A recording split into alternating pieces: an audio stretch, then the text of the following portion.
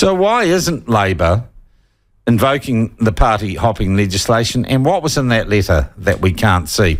Well, one person I know from reading his comments on Twitter and seeing him on TV who was scratching his head for much of yesterday afternoon was National MP and I think Shadow Leader of the House, uh, Chris Bishop, and he joins us on the line now. Chris, welcome to the platform. G'day. I'm not actually the Shadow Leader of the House oh. uh, currently, but um, I do enjoy a good scrap in the Parliament, yeah. as you know, Sean. Well, so, I got to uh, say, we've all seen some weird stuff in that chamber, but yesterday afternoon, that was off the bizarre scale. It was truly extraordinary, and I've never seen it in my time as an MP. Um, literally, no one knew what was going to happen at two o'clock. The speaker got up and said, "Look, um, Meka is now, you know, not taking the Labor whip anymore, so um, not giving her vote to Labor." Uh, and then we just had 20 minutes of back and forth. And I think the people watching, I mean, there were some Japanese visitors from their, their parliament there.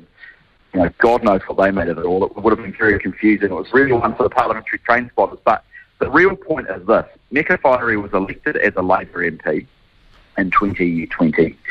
She wants to join the Maori Party, um, and but she's actually an independent MP for parliamentary purposes. And the real issue is whether or not that triggers the Electoral Integrity Act. That's the waka jumping yeah. legislation. And there's two ways to trigger that. The first way is by the MP themselves resigning telling the Speaker, yep. resigning, telling the Speaker that uh, the party was, for whom they were elected, they are no longer representing. Yeah. That's the first way. And then the second way is if the um, the leader of the former parliamentary party, so in this case Chris Hipkins, the one that left, that has happened. That's right. Yeah. Okay. Now let's work through those two scenarios, though. Meka Whaitiri holds a press conference yesterday, organised by the Maori Party, her new buddies, and she says she is resigning or has resigned, and has written to the Speaker telling him that. That's right. Right, exactly she right. says that. She says that in public, no doubt about it. That wasn't, no one made that up. It wasn't, uh, you know, fake.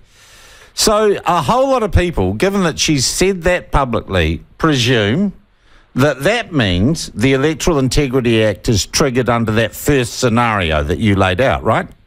A- absolutely, because what it, what it requires is three things. One, it requires a, a written notice, mm. so that's a letter or an, or an email. Yeah. Secondly, it has to be addressed to the Speaker. Well, yeah. clearly, the, you know, it's fine. Yeah. Then it has to say, I no longer consider myself a member of the parliamentary yeah. party for whom I was elected. Yeah. And that's what she said. She said she's written to the Speaker, okay. officially resigning. Okay, so she said all that, so that's the prima facie uh, course of action. Then the question becomes when Parliament resumes and she sits there, and obviously, what did she write and say to the Speaker? Did she resign? Well, that, that is really unclear. And what was reported last night, and this is a little bit worrying, is that there were actually two communications with the Speaker. She wrote to the Speaker, and then that letter or email was withdrawn and replaced with another one. And the worrying thing here is that if she wrote to the Speaker and said, I'm resigning as a Labor Party MP and I now wish to be a Maori Party MP, effective immediately, which is what she said. Yep, that is that what takes she said. effect immediately. Yep. That, that no if, no buts, no babies. Maybes, yeah. She's resigned, as, essentially, she's resigned as an MP there and then. But the Act takes effect. doesn't take effect at 2 o'clock, doesn't take effect the next day. It, it's there and then. That's the way the law yep. works. I get you. And and so we're we're just going to there's a bit, a bit further to run on this, and we're going to uh, ask the speaker questions about it today, um, because if that's what happened, that's quite worrying. And we know that John Tamihere sort of took over and said, I'll answer all the constitutional questions. So something yep. has gone on, and the Speaker could clear all this up by releasing the letter or letters, couldn't he? Absolutely, yeah. I mean, you probably remember I ran that campaign three years ago for Julie Anne Genter to release the secret yeah, letter that yeah. stopped the Mount Vic tunnel. Well, you know, the old hashtag release the letters uh, back in vogue again. Yeah. So, yeah, I mean, all of this could be cleared up. and I'm sorry if he doesn't if he doesn't, I'm questions about the integrity of our speaker, and therefore the integrity at its core of Parliament have to be asked, and that's really concerning, yeah. Chris.